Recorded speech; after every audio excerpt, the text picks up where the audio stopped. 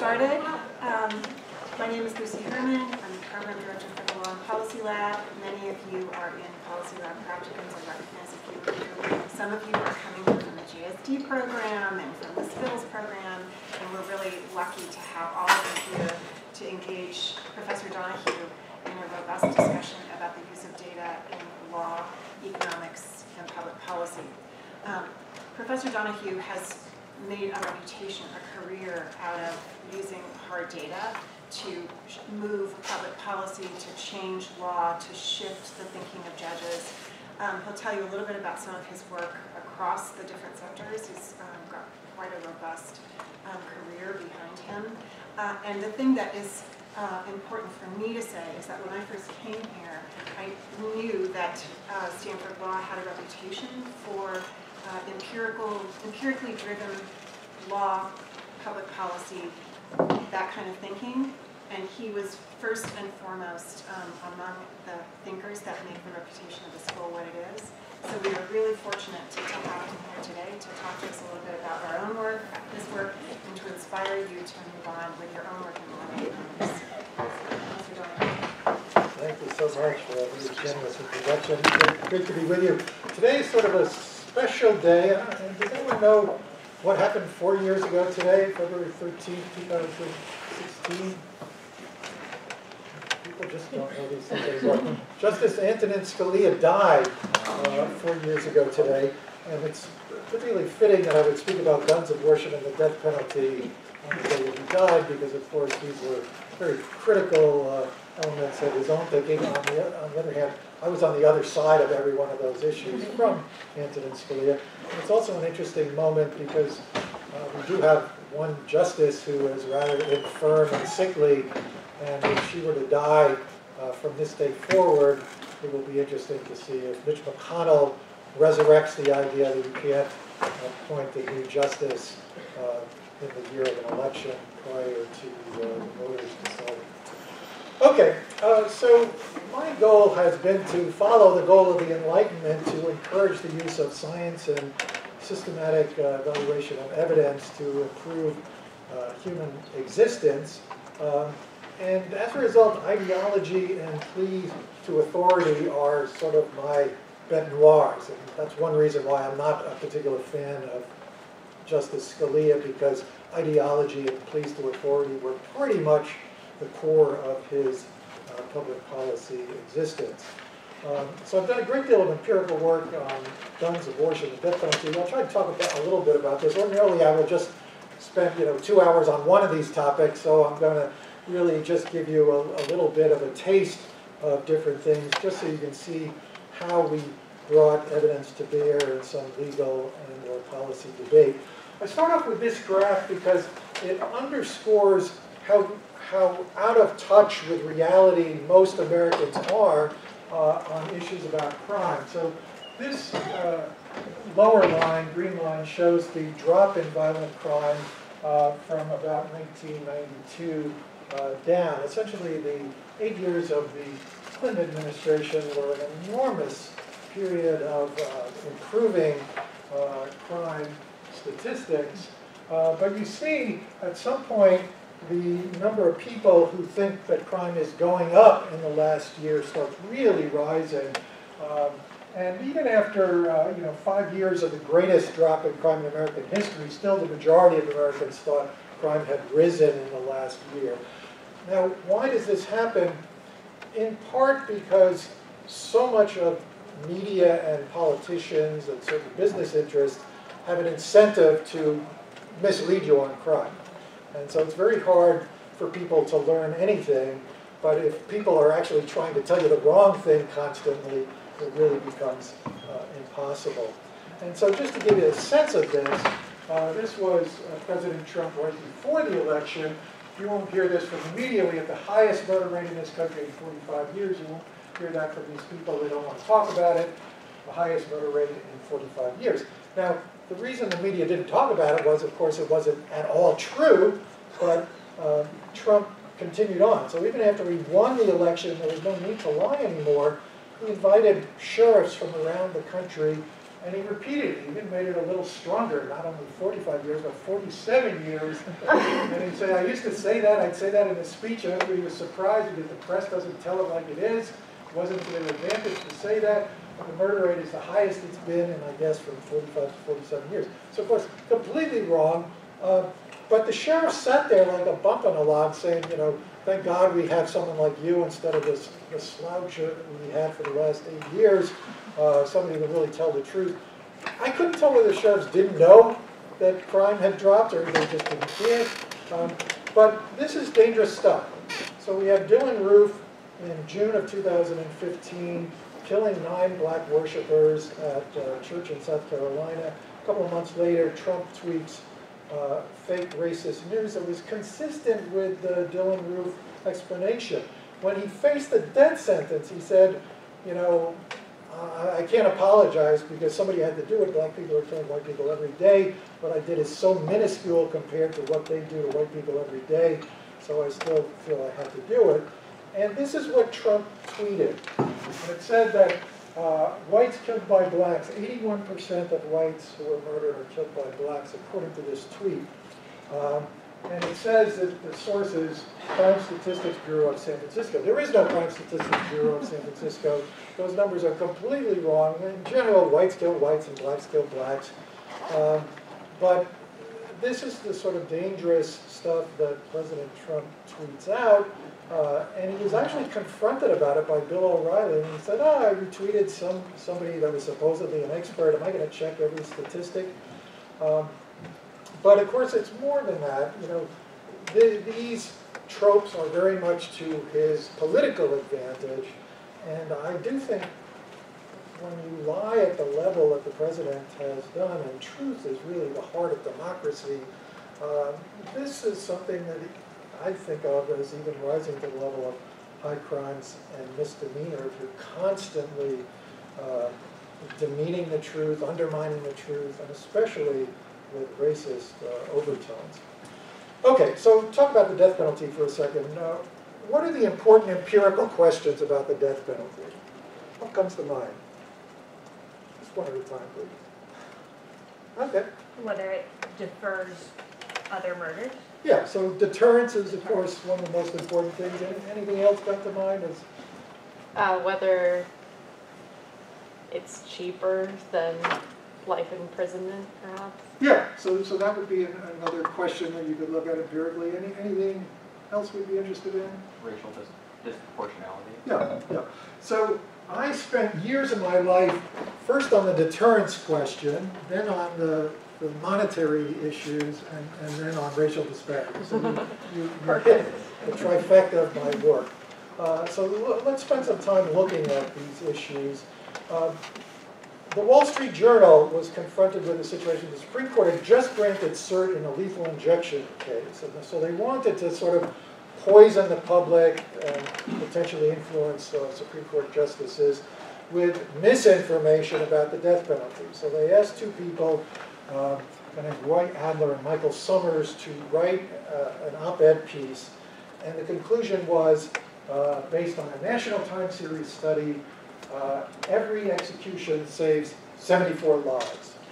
Of course, it's a preposterous claim, but these are the sort of things that, you know, the Wall Street Journal is considered one of the most elite, you know, uh, news media institutions. They could have asked any expert in the country, uh, and this is the study. And what it shows is, this is the number of murders. They fell from 25,000 in 1992 down to about 15,000. So that's good. Every year we were saving 10,000 lives by reducing the murder rate. And they claim that it's this jump in the number of executions that explains that. So this is what I consider the bad use of empirical evidence. Uh, the, the, the Greek notion of rhetoric was that you're supposed to try to persuade people to understand and believe the truth.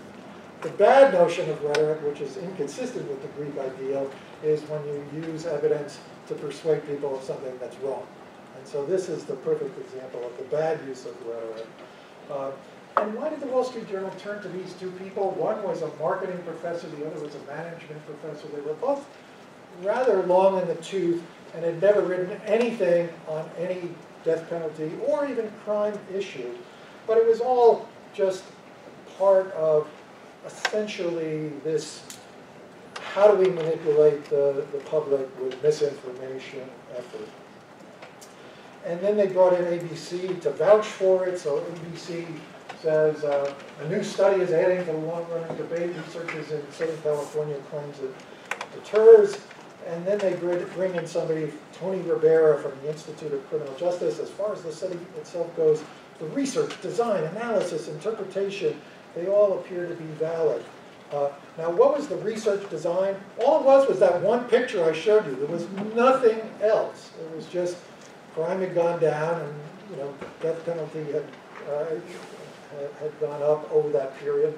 But there are literally thousands of things that you could have drawn on the graph that were going up in that, in that period. Uh, So to say that there was a causal nexus between those two is really quite extreme, and yet here we get uh, a number of institutions coming together to vouch for this.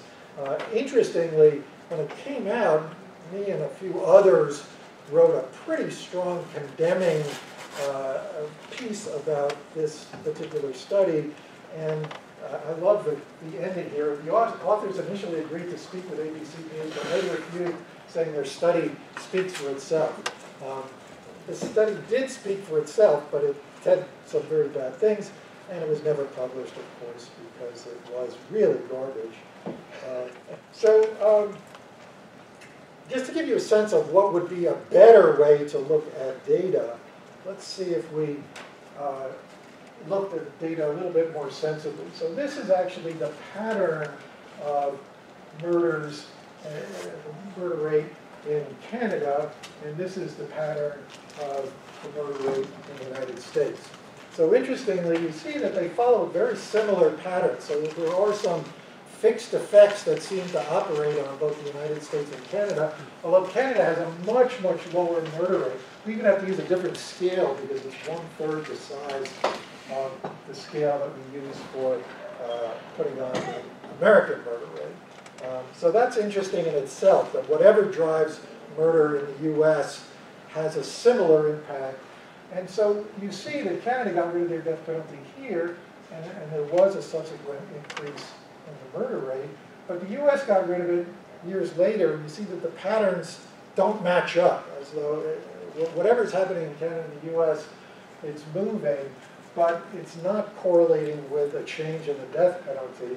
And of course, we see that they both got a drop in crime at the period that the Wall Street Journal said it was being generated by the increase in the death penalty, but Canada did not bring back the death penalty. So they were getting the drop. And indeed, the, uh, the change in the murder rate for the two countries was quite similar. Uh, the murder rate fell by 39% in the US, 34% in Canada. And the US had an enormous increase in incarceration, an enormous increase in the number of police, as well as this sort of modest increase in the death penalty. And the idea that you would then attribute uh, all of that change, the, the 10,000 lives saved, to the death penalty really was extreme. But that's, how, that's what the, uh, the study did to try to make it seem like the death penalty was a big deterrent. Another way to do a comparison, and what I'm trying to do is, is do a little bit more of a treatment and control assessment, is here is the, uh, the death penalty rate for the states that never had a death penalty in the United States over any period. You know, so some states like Minnesota, Wisconsin, you know, got rid of the death penalty, you know, 100 years ago um, or more. And uh, so nothing was changing with the death penalty in these states, either at that point or at that point. And you see that they still get the same pattern of the increase in crime and the drop for the other states. So again, it undermines the causal claim about the death penalty having any, any impact.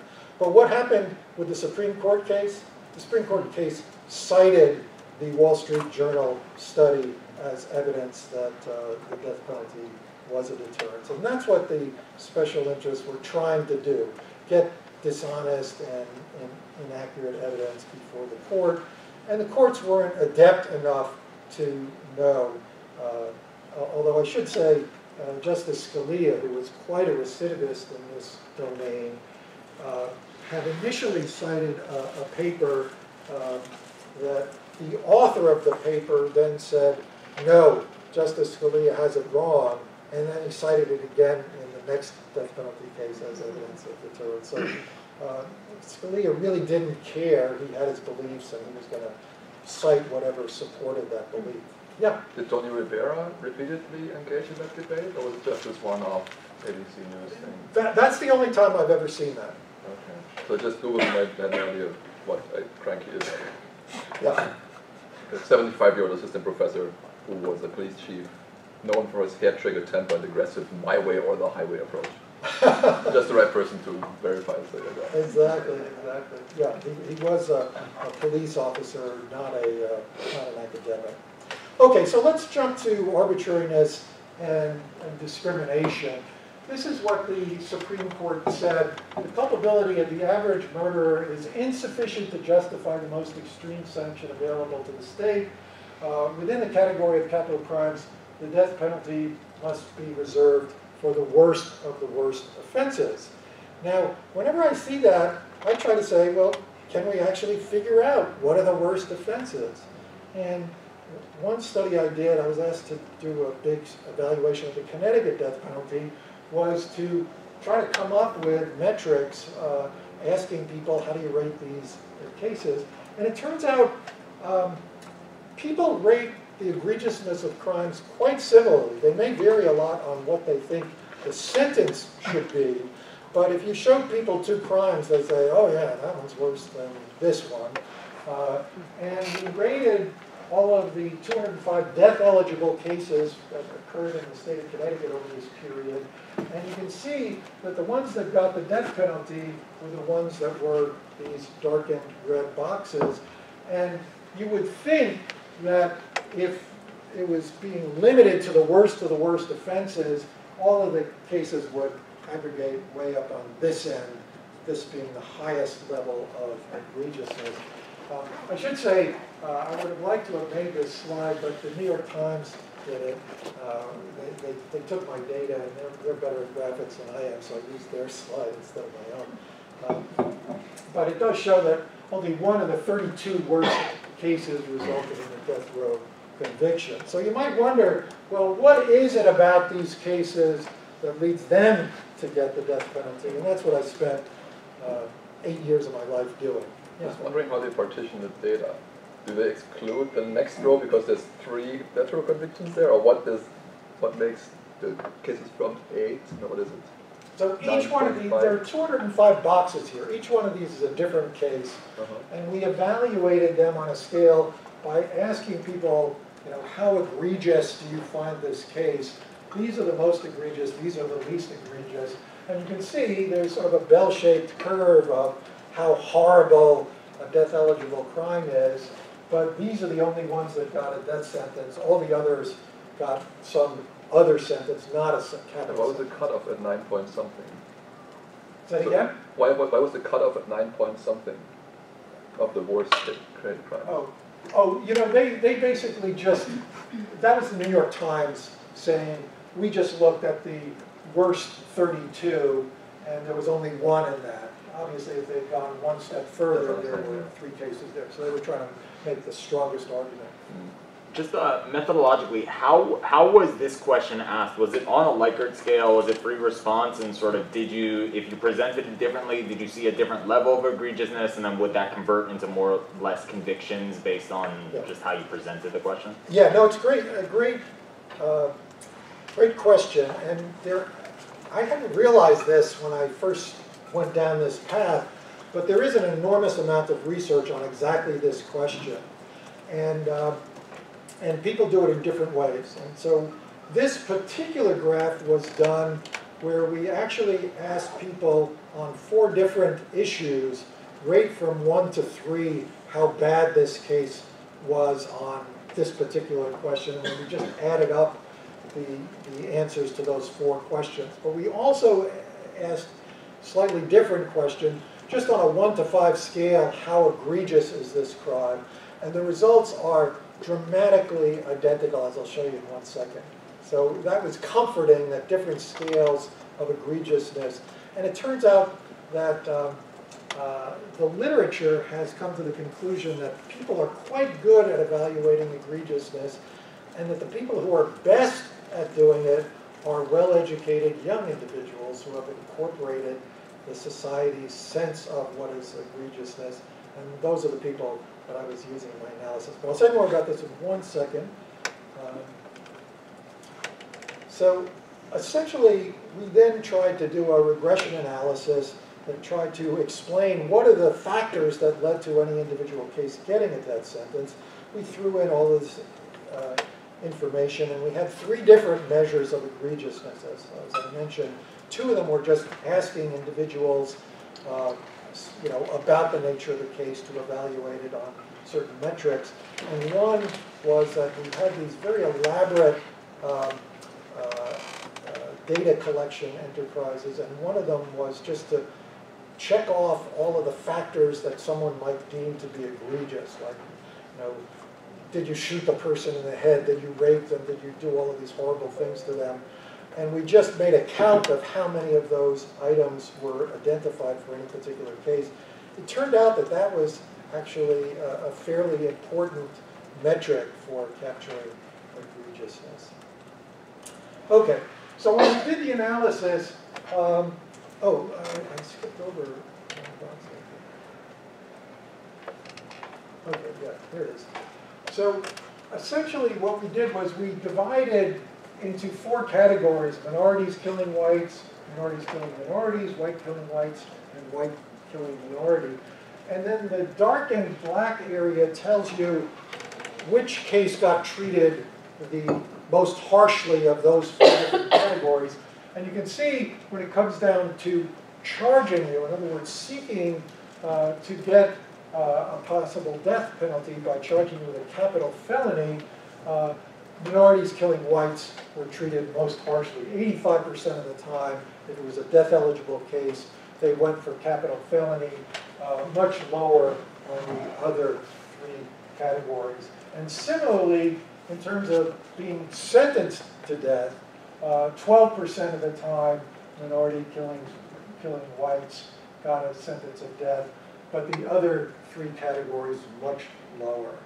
Uh, so uh, that is what drove the results, and then we did a, a, regression analysis trying to control for these various factors, and uh, uh it did not change the results. So here you see uh, essentially, um, you know, a 27% higher percentage point higher likelihood of being capitally charged and you see almost the exact result whether we use that 4 to 12 egregiousness measure or simply this 1 to 5, just ask people how egregious do you think it is on a 1 to 5 scale without trying to put it into categories. Almost identical results using those two measures. And we, we you know, obviously the state came back at us, they, they hired uh, crank expert witness, paid him $1.5 million to attack me. Um, and we took in all of the suggestions that he made, and yet you see very little change in those substantial differentiations in capital charging rates. Unfortunately, we lost in the trial court. Uh, the, the, the, judge found that there were um, a, that what we considered enormous and unexplained geographic disparities was an innocuous coincidence. Uh, we found that the death sentences are not confined to the worst murders. The judge ignored that. We found there was gender bias in sentencing. The judge said there was no evidence, even though his experts said that there was.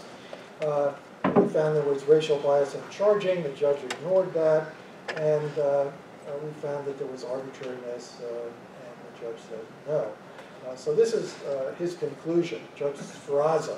When I read this to Rick Banks, he said, I do not believe any federal judge or, or any judge in, in, America, this was a state court judge, could say this, but this is what he said. Donohue's results found statistically significant deviation from the expected value only in the situation of a black perpetrator who was convicted of murdering a white victim. Donahue testified this divergence probably reflects the tendencies of members of the majority to be more empathetic to majority victims and less sympathetic to minority perpetrators with whom they identify the least. The court concurs that this explanation is the most likely, but this explanation stems from a psychological phenomena rather than some flaw created by the legal system, and thus has no bearing on the constitutionality of Connecticut's death penalty system.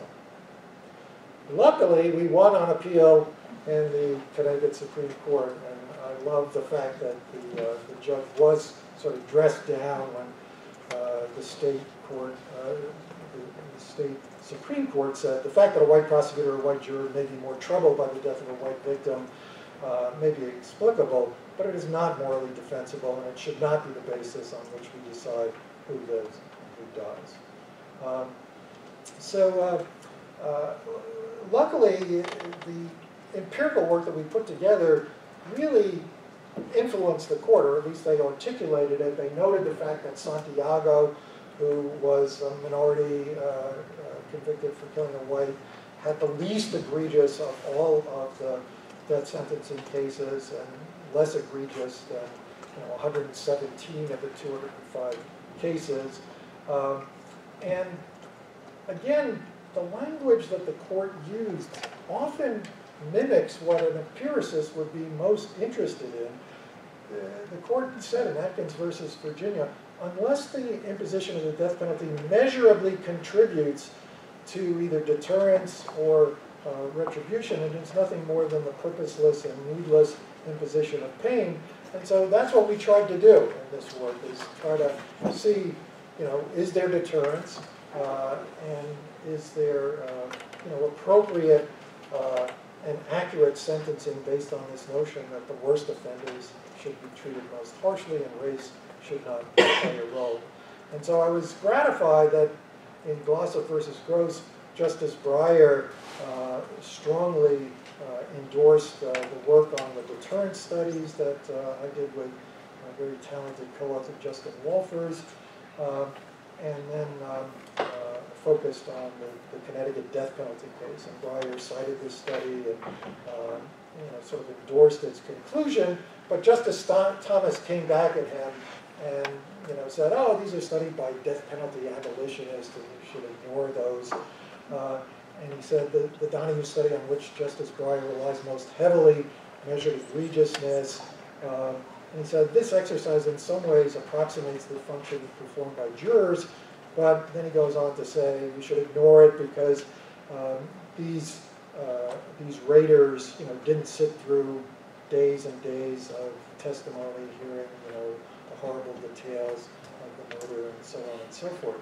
But what Thomas didn't understand is it and he said all the cases that I see clearly deserve the death penalty, so you know not, you know, this is nonsense. But he doesn't understand that let's say that you know all of these cases are truly horrible, and they are. If you only gave the death penalty to minorities who killed whites, then you'd be seeing a lot of horrible cases.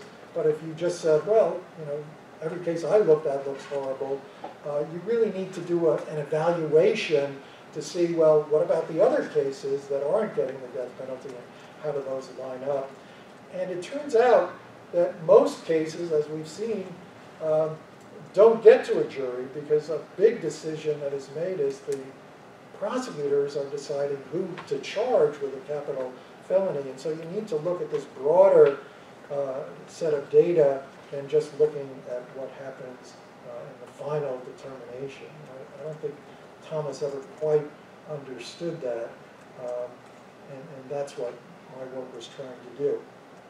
Uh, and then he tried to dismiss uh, the racial finding. He said uh, the primary explanation in the Donohue regression was uh, not race or sex, but the locality. And it is true that, you know, where the case occurred had an enormous impact because some prosecutors were pro-death penalty.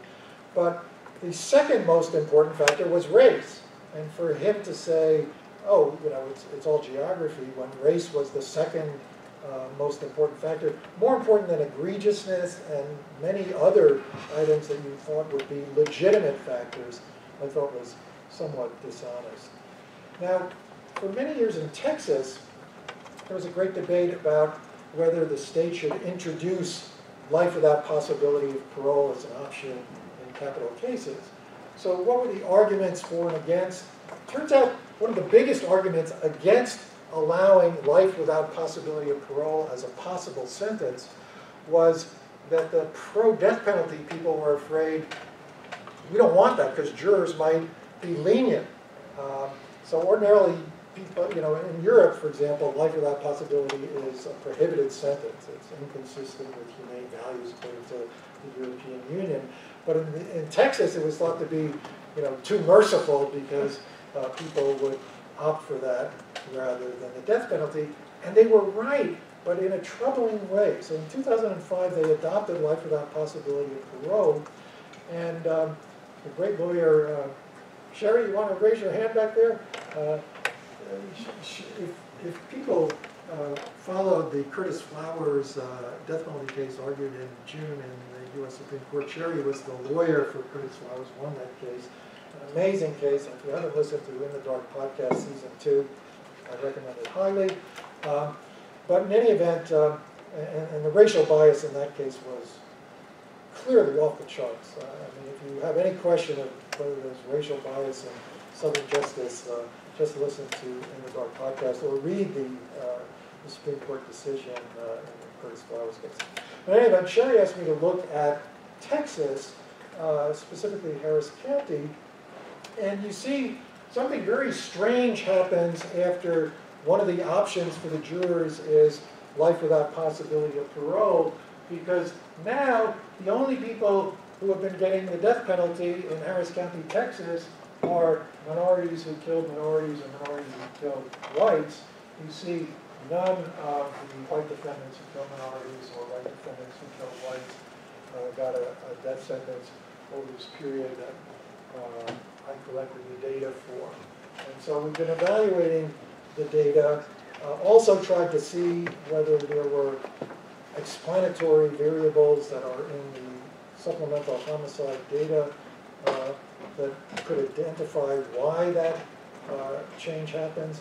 And again, highly statistically significant numbers uh, showing elevated rates of sentencing for minority on minority or minority on white cases.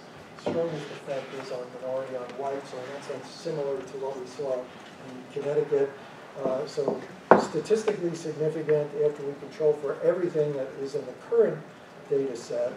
Um, And uh, there's still more work to be done. We're trying to collect uh, more data. But the initial empirical evaluation raises substantial concerns uh, that the death penalty is being administered in a racially discriminatory fashion in Harris County, Texas. So let me say a little bit about guns. Uh, That's the end of my death penalty discussion. Um, And um, what is a right to carry law, RTC law? So these are laws that allow citizens, as a matter of right, to carry guns on their person outside the home. Uh, In the 1970s, all but five states had banned concealed carry or limited it to those having a special permit issued only to applications deemed to be particularly trustworthy. Uh, and- But the new right to carry laws are designed to eliminate government discretion, allow anyone to have them. And there's even been uh, a new development as states have moved to permitless carry, to say you don't even need to have a permit. Anyone who is not, according to the federal statute, a mental defective or a convicted felon uh, is allowed to carry permitless carry states. So this is, this is where we were in 1987. See all these red states here? These are states that prohibit carrying of, of guns completely, but by, um, you know, 2019, you can see uh, all of those states that were previously prohibiting now allow it, and the green states uh, don't have any restrictions. You don't need to even get a, a permit. So there are a handful of states that are trying to hold out and say, at least to have a, a reason and, and show that you are, um, you know, a responsible citizen before you get a permit. Uh, But this, there's a case before the Supreme Court trying to overturn that on Second Amendment grounds. So it's important to know what happens to crime when you adopt the right to carry law. And so obviously there, there's a potential good side of carrying guns, you can ward off criminals to deter crime. But there are also a lot of bad things that can happen. Misconduct by permit holders, road rage, a lot more gun thefts, that's a huge problem. Uh, more gun carrying by criminals in response, and also burdens on the police. All of those can elevate crime. Just to give you a highlight of some of the things where cases went wrong in part because someone was carrying a gun with a permit to do so. Uh, I just took four cases from Florida. You've all heard of the George Zimmerman killing Trayvon Martin case. You may not have heard of Michael Dunn killing Jordan Davis for playing loud music at a gas station, rap music. Um, Jordan Davis's mom ran for uh, uh, political office and now is an elected official in Florida in response to that killing. Uh, Curtis Reeves uh, uh, killed a dad who was texting uh, the babysitter for his sick child who was home, uh, and they started screaming at each other, and the dad threw popcorn at Curtis Reeves, who then killed him uh, in the movie theater. And uh, this is a more recent case where a guy was hassling a woman uh, who was in a car. Uh, she just let her boyfriend and uh, five-year-old son uh, run into the store while she was waiting in a disabled parking spot. And the guy was hassling her. The boyfriend came out and uh, pushed the guy down on the ground, and the guy pulled out his gun and, and killed uh, McGlockton. Was just uh, convicted for murder in case. Uh, another road rage case. Uh, two Michigan drivers were driving down the road. They got angry with each other. They both had right to carry permits and were carrying. They pulled over, stepped out of their cars, and shot each other, so they both died uh, later that day. Sometimes people say, well, the number of revocations of permits are small. Those are two cases where uh, no permits were actually revoked, but they were revoked anyway. So what does the evidence show? We've actually created a statistical model, and what you see is that in the period prior to the adoption, our statistical model was working pretty well. We, we would expect that there would be no impact on crime prior to the adoption of the right to carry law if we estimated our model correctly. But you see, right when the uh, law goes into effect, violent crime starts uh, elevating relative to the states that have not adopted uh, right to carry laws. And uh, uh, this evidence uh, of the impact on violent crime is pretty robust and persuasive. Also did a similar sort of analysis for homicide, suggesting the murder rate rises by uh, 9.4%. And again, you see the same sort of pattern, uh, nothing before, and then the elevation starts at the time of the adoption of the right to carry law. That was called a panel data analysis. Um, Every type of statistical analysis has hopefully some strengths, but also some weaknesses. So some Harvard economists came up with a new technique called synthetic controls, and we went through that sort of analysis. And uh, it's sort of an interesting process where essentially what you're always trying to do in these evaluations is think of the counterfactual. What would have happened if the state had not adopted uh, a particular law? uh, rather than just looking at what happens after they adopt. Because there could be so many things that are going on. Could be crime is trending down, uh, but it would have trended down a lot more sharply if the law had not adopted. Um, but that's what the synthetic control tries to do. It comes up with something that estimates the pattern of crime prior to adoption rather well. So you see we fit the pre uh, adoption data for Pennsylvania quite well. And then what happens when uh, the permit law allowing concealed carry was adopted in 1989, but only extended to Philadelphia in 1995. And that's when things went south for, for Philadelphia, that uh, crime uh, diverged very sharply from what we would have predicted and what actually happened. See a similar pattern with Texas. Crime is falling, but the dotted line tells us what the synthetic control estimate for what would have happened had the law uh, not been adopted.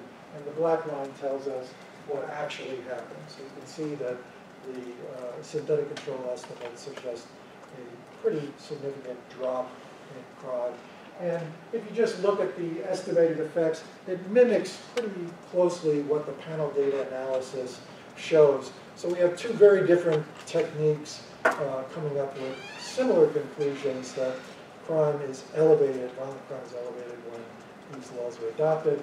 And one interesting thing was that the uh, extent of the elevation in crime was uh, uh, positively related to the prevalence of guns in the jurisdiction. That's what this upward slope means. These are states that have higher prevalence of guns and therefore got higher increases in violent crime. Uh, interestingly, one of the explanatory factors seems to be that when citizens start carrying handguns, criminals start carrying handguns more often when they commit crime. So the number of armed robberies with guns rose pretty sharply after right to carry laws went into effect. And of course, that's not a good thing. It's sort of an arms race scenario.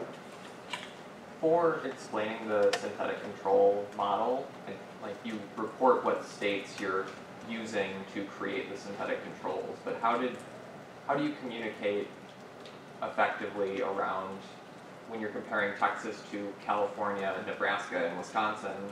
It's going to feel to somebody like those states aren't at all like Texas. Yeah. Like, How can we, how, how is this relevant? Yeah, yeah. Yeah, and, and so it's one reason why I like the fact that we, we have multiple uh, measures and multiple techniques. And uh, indeed, uh, uh, the, the nice thing about synthetic controls is I wasn't making those selections. That is done by the, uh, the algorithm, which says what weighting of states in the pre-adoption period will best match the, uh, um, the pre-treatment pattern of crime, and then just extrapolate that forward. So it takes away the discretion element.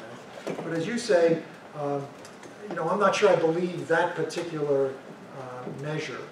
But we have it for the 33 states. And so you can look through the ones that you say, ah, I believe it here, I don't believe it here, uh, and throw away those that you don't believe. I mean, it's one of the nice things, I think, about the synthetic control measure, because it is very transparent what you have done. And uh, I, I also went through and did a lot of robustness checks to see, well, if I don't believe that one and throw it away, does it, does it alter the ultimate conclusion? And it does tend to be a, a fairly robust conclusion. Uh, so again, we're always trying to collect more data, and people are working on ways to improve uh, the synthetic control methodology. So things uh, over the course of my career in, in doing empirical work have, have constantly gotten better. Each new tool is, is sometimes oversold as we finally gotten to the end of uh, perf- perfect uh, empirical evaluation, but there's always room for improvement. Okay, and this just highlights the point that uh, uh, in the RTC states, we've gotten this rise that now almost half of the robberies are committed with a firearm, while in the non-RTC states, it- it's trended down. Uh, So that is one of the advantages of not having a right to law. So I- I, I basically uh, summarized the right to carry findings as the panel data models support uh, increases in violent crime, the synthetic control models back that up, um, but there is uh, more work to be done. Let me just say a little bit about the federal assault weapon ban. So the evidence here is in some ways harder to deal with because we don't have the benefit that we had in the right to carry states of some states adopting and other states not adopting. So you, you have a better chance for trying to create this treatment and control notion that I like. Uh, here all we have is uh, the, the, the law went into effect in 1994 and was taken away in 2004. So you, get, you got it turned on and turned off. And the interesting thing is that while violent crime was trending down over this whole period, this is the violent crime line, um, you do see that uh, mass shootings defined as six or more killed uh, in, in a particular shooting event uh, dropped pretty sharply during the federal assault weapon ban period and have been rising very sharply since. And so, remember in the first slide when people were saying, we think crime is rising, part of the reason that they think that is because we're seeing this very sharp increase in mass shootings, and they got a lot of press, and people tend to think that that is all of violent crime, but, but it is just one small part of the violent crime story. Um, you also see that during the 10 years of the federal assault weapon ban, there was a pretty substantial drop in the number of deaths per episode, uh, and uh, that has been rising very sharply. Those guns are becoming much more dangerous, and the number of high-capacity magazines, so you can shoot you know, 30, 50, or even 100 bullets without reloading, uh, makes it easier to kill a lot of people uh, very quickly. Uh, so there's been a 90% uh, increase in the number of people who die in every incident since the decade after elimination of the federal assault weapon ban. So the federal assault weapon ban would have helped all of the 15 gun massacres since 2014 were killed, uh, and that led to 271 deaths. Those were all killed by weapons prohibited under the federal assault weapon ban. And, you know, a recent shooting in Saugus High School um, uh, was a case where a guy had six bullets in his gun, so he fired five of them and then killed himself with the sixth. It sort of underscores that if you have a high-capacity magazine, you can do a lot more damage than if you are are limited.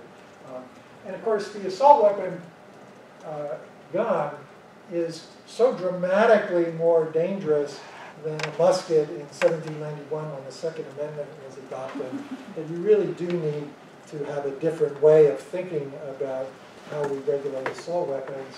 Um, The NRA sent around a thing, a fake news alert, uh, responding to my piece in the New York Times saying that the assault weapon ban uh, did work.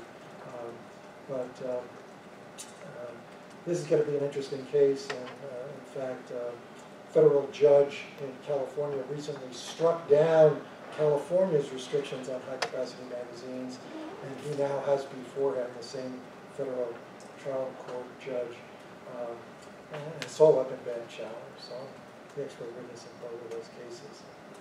All right, my final topic, do I have a few more minutes, or should I stop here? You've got about 15 minutes. Okay, let me just say very briefly, and then I'll open it up, uh, that Steve Levitt and I, you've probably heard of Steve Levitt if you've ever read Freakonomics. uh, uh, He was uh, one of the co-authors of that book. Uh, But uh, we uh, were trying to figure out, why did crime fall so dramatically in the eight years of the Clinton administration? It really is one of the most remarkable socioeconomic events in you know, the last 100 years in the United States, this incredible drop of crime, as we saw from 25,000 murders a year to 15,000, saving 10,000 lives a year is pretty astonishing. There is no study that even comes close to explaining that magnitude of, of, of a change.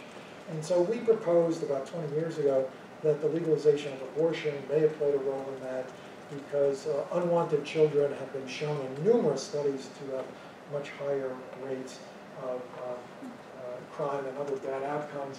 Uh, and indeed, in the Roe versus Wade decision, they talked about the distress for all concerned with uh, unwanted children and the problems that this would create in the family that was already unable psychologically and otherwise care for more children.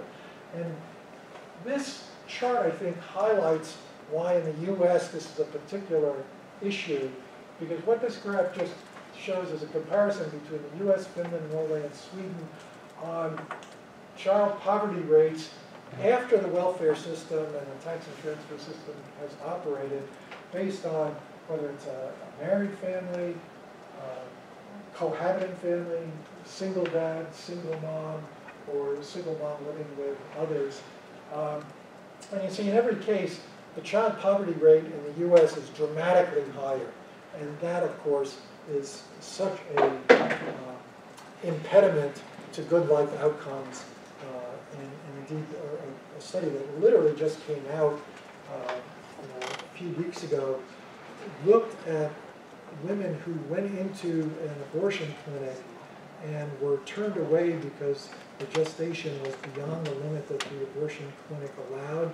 And they compared what happened to those women who were denied the right to an abortion with those who were just under the threshold. And they found it had enormous financial implications for those women, much harder going forward. And I do think that that is part of the burden that the uh, prohibition on, on abortion puts on uh, you know, poor women States. Um, so anyway, uh, we, we did that uh, piece back in 2001, uh, claimed that uh, legalization played a role. Um, this was, uh, you know, one of the emails, uh, Steve writing to me, December 4th, 1998. On the abortion crime thing, do you have any real evidence to support your conjecture that abortion lowers crime? So that's what we spent the next couple of years doing. And one of our predictions in that paper was when a steady state is reached roughly 20 years from now, the impact of abortion will be roughly twice as great as the impact felt so far.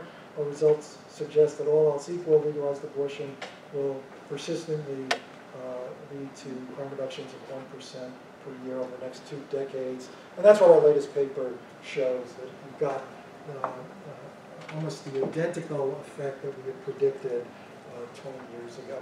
So let me stop there in case there are any questions on any of that. Thank you.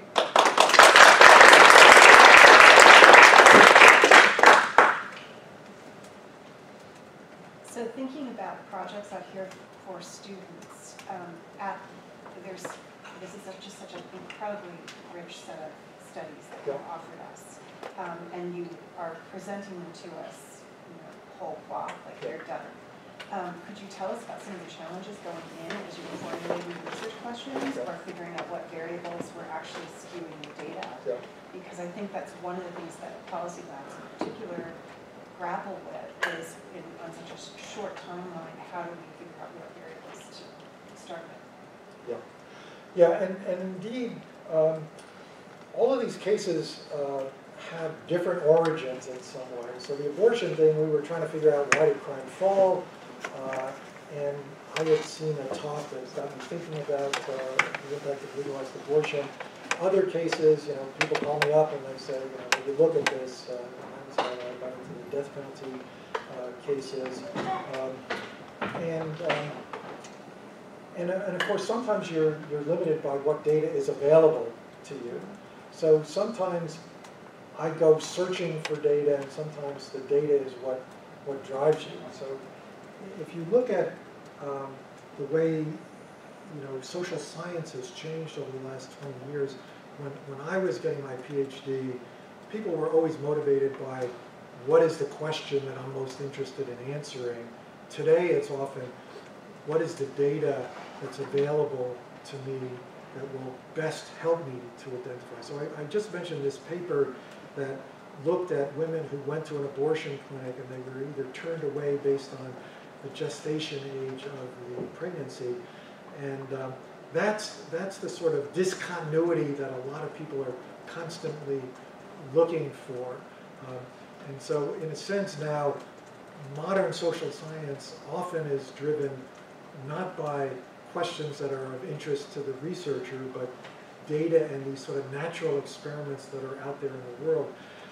That's a neat thing because you can answer some of these questions better with the natural experiment. On the other hand, if you're a litigator, you don't have that luxury. You have to go with what you've got. And, and so this has created all sorts of interesting tensions in, in the law uh, for how we treat uh, data. And the courts are not always particularly adept at, at treating uh, data. But, um, you know, the, the, the one thing that, that I do find is um, that there, there is more and more data available. And, and so, for example, many journals now, for example, the American Economic Association has required in the American Economic Review, require data and computer files for every published paper.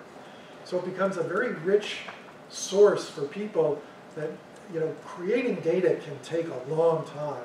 And if you're on some sort of policy limitation, it's nice to get somebody's data set and do some of the things that Brock was suggesting, you know, maybe look at it in a slightly different way, tweak it to see how robust it is.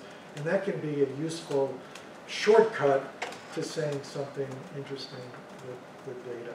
And even, even the, the assault weapon ban piece that I put together, I did because uh, that was, that was driven by litigation. We didn't have good evidence on the impact of the federal weapon ban. It's a tricky nut to crack because we don't have the obvious treatment and control.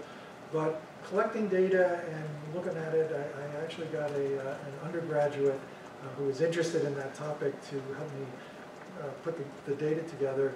And it ended up with a New York Times publication, so uh, that was, that was helpful. And, it, and it's definitely had impact in, in a number of uh, Second Amendment cases around the country. Yeah. You mentioned you would light on algorithms for the synthetic control. I was wondering, like, how do you choose which algorithm to trust? Yeah, and, and so the nice thing about uh, uh, synthetic controls is it was created by uh, a guy named Abadie at Harvard, an economist, and you know he uh, essentially generated the um, uh, statistical package that will implement the synthetic controls. So you can just go to Stata or other canned statistical packages and just run the synthetic control uh, uh, algorithm that he developed. That you do have to choose what explanatory variables you want to enter into the system. Uh, but once you do that, uh, you can simply follow that protocol. Now, I did mention that a number of researchers, including some here in the economics department, are, are trying to see if they can tweak the synthetic controls approach to make it even better. So there's a lot of machine learning going on to see uh, are, there, are there different and better ways to specify that algorithm. So it is an active area of research and uh, in, in a sense it's nice for me because when the new protocol comes out I can just run the new protocol and get a new, uh, new publication. Hopefully it will supplement and, and expand what I've found in the past, but if it doesn't, uh, you know, all we really care about is what is the truth. Yeah, so like, since like we don't really understand the mechanism of the algorithms, it, it, is it, to you, is it like a black box approach? And if so, like how, how can we make sure that this result is trustworthy? Yeah, yeah, and so the, the algorithm uh, is really trying to do two things. One is to fit the pattern of crime in the pre-adoption period, and you can see based on the graph how well it did that.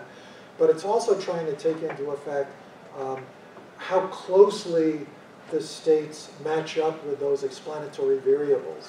So things like you know income and incarceration rates could be explanatory variables, and uh, it's it's doing a, a, a, sort of a maximum likelihood uh, estimation that is going to, uh, uh, you know, fit the data as well as possible, subject to the constraint of being relatively close on these other explanatory variables. But again, that's, that's a, subject of, of, active research to see if they can make it better and, and even more, um, you know, open to, to clear understanding. Um, I'm curious how you pick which countries or jurisdictions to compare with. Uh, sometimes you're looking at different states and sometimes you're looking at different countries and just when, how you factor that in. Yeah. Yeah, so, I mean, I, I'm shameless. I go wherever the data will allow me to go. Um, and so, for example, I, I, haven't shown it here, but uh, some people took our computer programs and just tried to run our analysis on abortion and crime, which was done on American states, uh, linking arrest rates for uh, you know, 15-year-olds with abortion rates of people for, uh, in that state 15 years earlier. Um, and they took our methodology and applied it to Europe, and they found the same result, that uh, wherever the abortion rates were higher, you know, 15 to 20 years later, you see uh, crime dropping. So, so the, the tools can often be expanded into different domains, but if you're doing uh, a sort of panel data analysis, it requires both data over time and also different jurisdictions that you can compare. So we did 50 states over the period in our latest paper from 1985 to 2014. And this other paper in Europe looked across uh, all the European nations over a 25-year period. Yeah. Um, I was just wondering, I think it seems skeptical to me how you can, what is the causation or the nexus between abortion rates lower, uh, increasing and 15 years later having that have a 1.5% impact on crime? It seems like there's so many extraneous factors, like how do you take account of these variables across that time frame on Yeah. something as diverse as crime rates? Um, and then it also, secondly, I, I would presume also that, and perhaps I may, I may be wrong in presuming this, but in the sense of this correlation between abortion and crime, how can two different countries have such a close correlation of 1.5% decrease in crime? Uh, Okay, so let, let me say a couple of things. There are a lot of studies like this one, which was done uh, following 220 uh, children born 1961 to 1963 to women twice denied abortion rates for the same pregnancy. It used to be in Europe, you could get a pregnancy and convince a magistrate that you should be allowed to have it. So these women were twice denied, and they compared how those siblings of those children that were born uh, did compared to the, the children born after twice being denied. And they found that um, being born in an unwanted pregnancy was an enormous risk factor for uh, poor mental health. Uh, they were five to six times as likely to suffer from alcoholism or drug addiction, far more likely to be sentenced to prison. So that's sort of micro data trying to establish the nexus. What we did was, again, this sort of statewide analysis, and what we find is that the abortion rates uh, correlate very highly with the drop in crime over the ensuing years. And just let me show you some graphs as well. Uh, so this was actually, uh, the economists took our data and they put a nice heading on it, they called Grow and Behold. And you see that essentially low abortion states and high abortion states have very similar patterns of crime until right here. And that's when you would expect the abortion impact to start coming in. And then you see convergence over time. But what is most interesting in some ways is this. What we did was we looked at arrest rates for 15-year-olds. And then we could look back at what was the abortion rate 15 years earlier in that state. And we found the higher it was, the greater the drop in arrest rates for 15-year-olds. And then you, you look at 16-year-olds, and we look back 16 years. So we were controlling for whatever was happening, let's say in New York in 2000, we controlled for. But we found that the drop in crime was greater for the cohorts that had the higher abortion rates, and that worked across all 50 states. So th that is pretty strong and compelling evidence, much better than simply the graph I showed you, which was correlational, linking the, the drop in crime to the abortion rate for the particular age group within a state over this long period of time. Yeah. Uh, so you've mentioned a few areas for empirical research in public policy, right? From your own experience, uh, you talked about the death penalty, about right to carry. Um, other areas that come to mind are tax policy or you know gerrymandering too has seen a lot of empirical attention Yeah. from economists and political scientists. Um, I was wondering if you could touch on maybe some other areas that you see emerging as important applications of empirical studies to important policy questions. Yeah, yeah. You know, it really is almost endless if you if you sit down and think about it. Uh, almost every big issue of public policy has an underlying empirical dimension to it, and uh, and, and so again, I was reading Atkins versus Virginia, the death penalty case, and they said, uh, you know, unless the death penalty measurably contributes to deterrence or retribution. So I just started thinking about, well, how would we try to measure to see whether it does contribute in a measurable fashion? Uh, and this is true for everything from minimum wage laws. Uh, my beloved, uh, now deceased colleague, uh, uh, Alan Krueger, along with David Card at Berkeley, did some amazing work uh, looking at the impact of, of changes in minimum wage laws. And indeed, just even in the last few, few weeks, you've heard, you've heard Trump talk about, you know, and low-wage workers are experiencing increase in wages, it's all because of me. Uh, some very interesting work just done in the last couple of weeks showed that the low-wage workers were getting an increase if they lived in the states that had just raised their minimum wage. And of course, Trump has fought raising minimum wages, so the idea that he could take credit for this, um, but, but that's the sort of thing, almost any public policy statement uh, or issue does have some important underpinnings that empirical evaluation can illuminate. And that, that's what I'm constantly trying to do because believe me, the special interests will lie unbelievably if they think they can get away with it. And I never thought that the president would, would lie so unabashedly about things that we know to be true. So for example, saying that the murder rate is the highest in 47 years when we know it's just not even close. Um, but that's why we need people who are looking at the data in a sophisticated way and can bring the truth forward. Uh, were there any notable outliers uh, for either the abortion data or the gun control data? And if there were, how did you account for them? How did you explain them? Yeah, uh, yeah, that's an interesting question. Let, let me show you some outliers on the gun case and the synthetic controls analysis. Oh, what did I do here? All right. um, let me try this. Do this.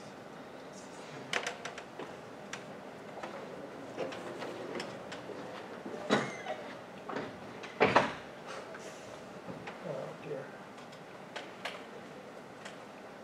Sorry, this is taking so long. Um,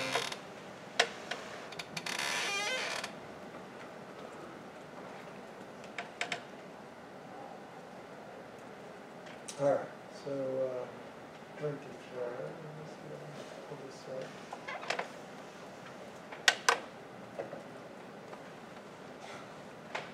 All right, it's working slowly, I apologize.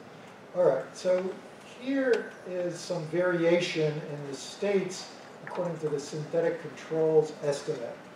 And so, you know, the median or the mean effect is about basically, you know, one percent a year increase in violent crime, uh, or a little bit higher, uh, if you adopt the right to carry law. But you do see some, uh, variation, some at the high end, some at the low end.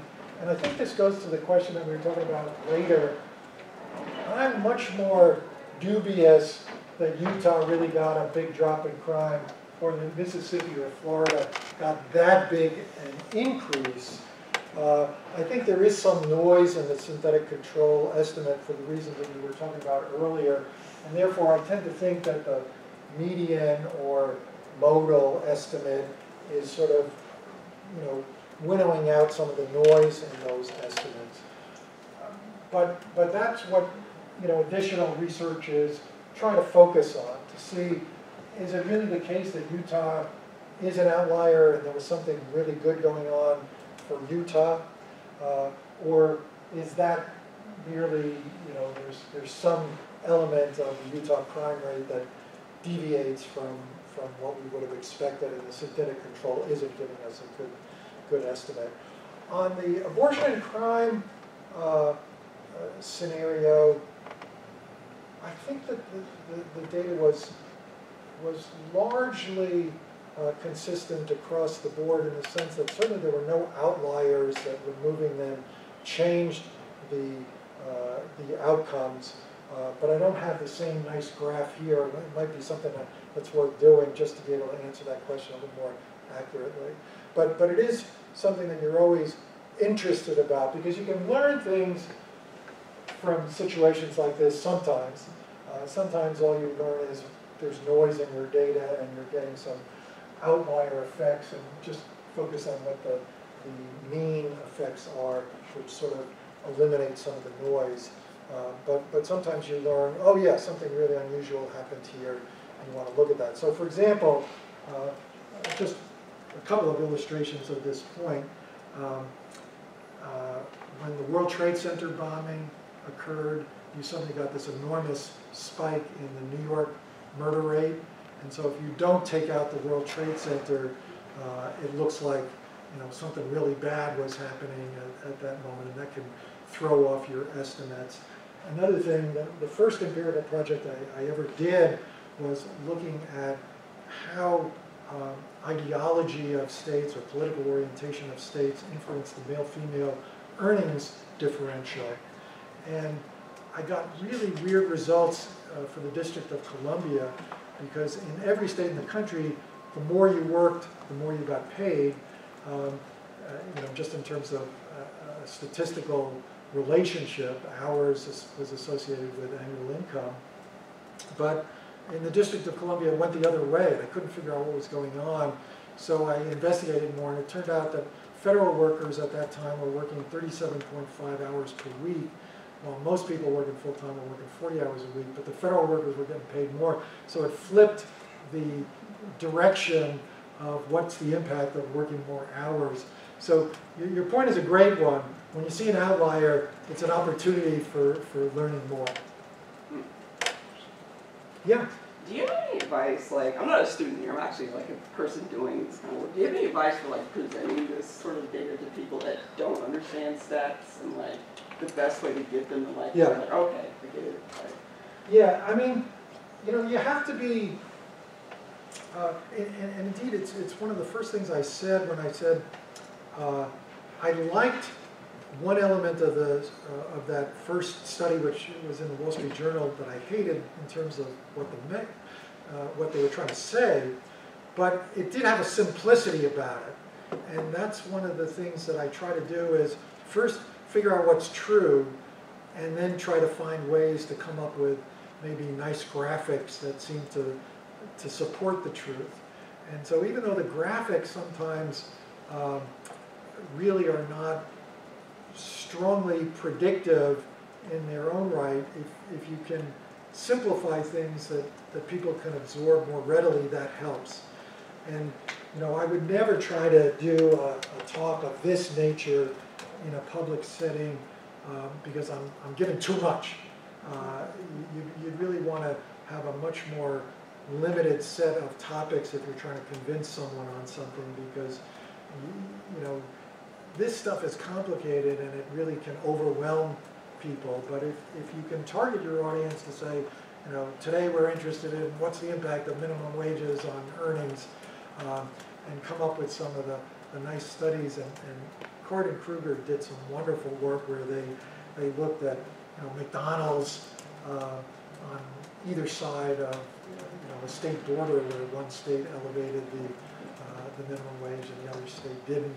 So you can try to make it both transparent for people, but also, um, you know, economically sound in the analysis, and, and that's often the best way. Can I um, just piggyback on that same question? Because one of the things that I think is super fascinating about his work is that he has published so many op-eds. And so he's got this public, you know, very thoughtful presentation side to this very complex data behind it. And so on your note, and I hope everybody will do this, go do a bit of research and read his op-eds, and then link back to the studies, and you'll see what he means by how he's able to take really complex data and distill it into these very you know, simple points. They don't come across as simplistic in any way, um, but they are definitely distilled. Yeah, yeah. Well, Although I should say that uh, in, in certain circles, you know, my name is Bud, but uh, that's another matter. Okay, well, thank you very much. Thank you.